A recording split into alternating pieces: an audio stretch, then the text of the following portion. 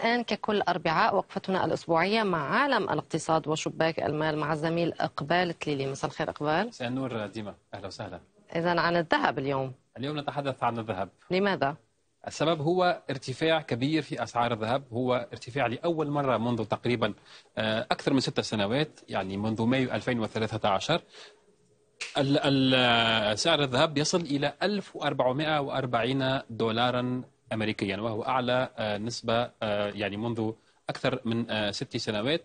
طبعا لماذا؟ لأن هناك توترات جيو استراتيجية وجيوسياسية كبيرة. من أهمها التوتر عند مضيق هرمز والتوتر الإيراني مع الغرب ويعني الاحتمال نشوب حرب. والأهم من هذا كله هو الحرب التجارية الأمريكية الصينية. وعند كل أزمة عالمية شديدة فإن المستثمرين يلجؤون إلى ملاذ آمن. وأهم ملاذ آمن في الاستثمار هو طبعا الذهب. الذهب. طب أين يوجد الذهب؟ يعني غير بالجوارير وعند ال... وتحت التخت وبالخزانات يعني هذه نسبة كبيرة يعني من الذهب الموجود في العالم. هو مثل ما تفضلت يعني تحت ال... تحت ال... البلاطة. يعني عند أشخاص.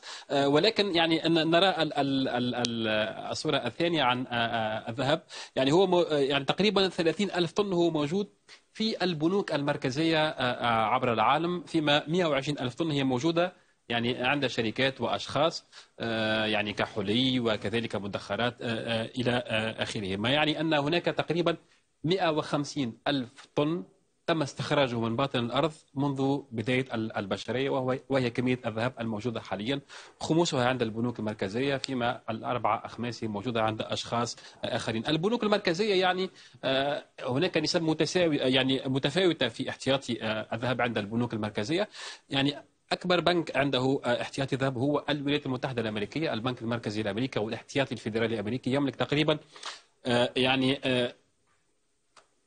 يعني تقريبا ثلث الاحتياطي الذهب عند البنوك المركزية في العالم 8100 طن. تليه ألمانيا 3400 طن. ولكن إن جمعنا كل البنوك المركزية في الاتحاد الأوروبي نجد تقريبا 12 ألف طن في كل البنوك المركزية دول الاتحاد الأوروبي. ما يجعل البنك المركزي الأوروبي يعني إن جمعنا كل احتياطي ذهب هو لديه أكبر يعني احتياطي ذهب. هناك كذلك صندوق النقد الدولي لديه احتياطي يعني مهم جدا وبالطبع إيطاليا وفرنسا. أما الدول العربية فيعني هناك نسب متفاوتة من احتياطي الذهب وهو ما يهمنا. يعني السعودية 323 مليون طن. لبنان 286 مليون 286 طن. الجزائر 173 طن. ليبيا 116 طن وأخيرا العراق 96 طن طبعا هناك دول عربية أخرى لديها احتياطات متفاوتة يعني كمصر وتونس نعم. والمغرب إلى آخره نعم وإقبال من ينتج الذهب اليوم؟ يعني كان هناك اعتقاد يعني حتى سنوات قليلة مضت يعني كان هناك اعتقاد أن أغلب الذهب في العالم ينتج في القارة الأفريقية ولكن يعني أن نرى آخر ال ال ال ال الأرقام الصين هي أكبر منتج للذهب في العالم تقريبا هذا البلد ينتج وحده 404 يعني أنتج العام اللي فات 400 طن من الذهب. تليه أستراليا ثم روسيا ثم الولايات المتحدة وكندا. فيما نجد فقط بلدين عربيين. والله. ينتجان الذهب في أو يستخرجان الذهب. بس هذا الإنتاج وليس شغل الذهب. هذا الإنتاج فقط أي. يعني ما يستخرج من باطن الأرض.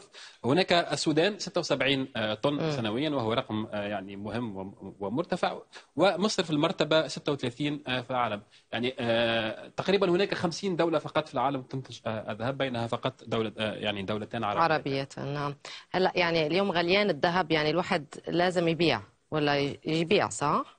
يعني هذا ولا لازم يشتري أنا ما بفهم بهي الأشياء. يعني هناك من يراهن على ارتفاع الأسعار م. وبالتالي يشتري الذهب لأنه يراهن آه هلأ ما بينباع الذهب بينشرى أن ترتفع الأسعار آه أكثر أوكي. إلى 1700 1800 1900 طيب. فلهيك اشرح لنا شو أهميته بالاقتصاد أهمية الذهب وهناك كذلك من يراهن على أن يعني تتم انفراج عالمي وبالتالي ال ال يعني الاستثمارات تذهب إلى إلى البورصة إلى م. إلى إلى يعني أسواق نعم. أكثر تقليدية وبالتالي سوف ينخفض سعر الذهب وبالتالي يعني كل يراهن على على على اسعار وهو يعني هذه يعني هذا هو الاقتصاد. يعني ولكن يعني الذهب هو كان يعني دائما آه، موضوعا آه، يعني مثيرا للجدل وحتى لديه علاقة كبيرة جدا بالاقتصاد آه، العالمي إن نرى يعني تاريخ يعني ال- الذهب ومع في الاقتصاد. يعني البداية يعني الذهب كان آه، يعني قبل الميلاد بكثير كان يعتبر يعني آه، آه، يعني آه، مهم في الاقتصاد العالمي. يعني بدأ التعامل به في العام 4000 قبل الميلاد يعني منذ تقريبا 6000 سنة. كان بداية التعامل في الذهب يعني بدأ في تركيا يعني ال- ال- الحالية. ثم يعني اعتمد في آه، مع الإمبراطورية الرومانية ومن, ومن ثم كان هناك آه، انتشار كبير لل- لل- للذهب عبر ال- القطع النقدية التي كانت تحمل يعني رأس نعم. قيصر يعني قيصر الروم. ولكن التاريخ المفصلي في الذهب يعني في الاقتصاد العالمي كان عام 1821 وكان هنا في بريطانيا عندما بدأ البنك المركزي البريطاني أو Bank of England التعامل بنظام الذهب الدولي وهو ما يعني بكل بساطة أن يعني كمية النقود الموجودة هي نفسها هي تضاهي كمية الذهب الموجودة داخل البنك ال- ال- المركزي وبالتالي يعني قيمة الذهب. وبالتالي كان كانت كان هناك يعني استقرار مالي كبير جدا.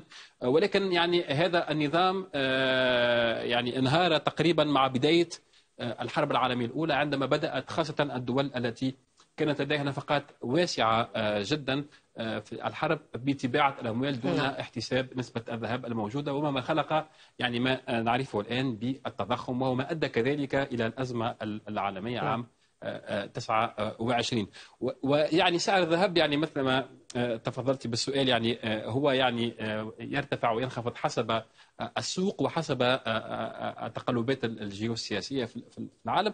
نظرنا إلى سعر الذهب منذ تقريبا 40 سنة. نرى أن سعره يعني أدنى سعر منذ 40 سنة. كان في الخامس عشر من يناير عام 79 عندها كان سعر الأونصة يعني تقريبا 30 غرام من الذهب. لا يتجاوز 216 دولارا. دولارا. فيما ارتفع آه، هذا السعر آه، إلى يعني كان أعلى آه، سعر آه، للذهب عام 2011 عندما وصل سعر الذهب إلى 1895 وكان يعني كل من باع في هذا اليوم كان يعني محظوظا جدا. اليوم يعني نحن آه، يعني لسنا بعيدين ولسنا قريبين من هذا السعر 1439 دولار هذا سعر الذهب اليوم يعني سعر الذهب وبالتالي يعني إن إن راهنتِ على على تقلب الأوضاع في العالم وبالتالي ربما آه، يعني هلأ رح تبيع أنت. أنا لا أملك الذهب يعني الا ما قل ولكن إن كنت أملك الذهب ربما أشتري الذهب وانتظر حتى ترتفع الأسعار. ربما. لا شو تشتري؟ اليوم غالي. ولكن ربما يرتفع أكثر ويصل إلى 1800 وبالتالي يعني نسبة هامش الربح لا يزال أنت مرتفعا مخرجك لا أعمال ولا استثمار. تشتري بأدنى معدلاته وبعدين. طيب شكرا كثير أقبال عن جد على كل هذه المعلومات. شكراً جزيلا.